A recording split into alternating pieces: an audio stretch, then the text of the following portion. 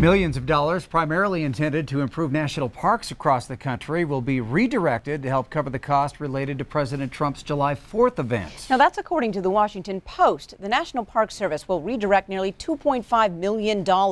According to the Post, that amount is just a fraction of what the event will actually cost. The administration hasn't released a total price tag, but the president tweeted today that the celebration would cost, quote, very little and that the only incur incurred expense will be for the fuel needed for a ceremonial flyover of military aircraft. Now, this year's 4th of July event is called Salute to America. It'll feature some changes from the typical celebration in Washington, including a speech by President Trump at the Lincoln Memorial and a display of military weaponry.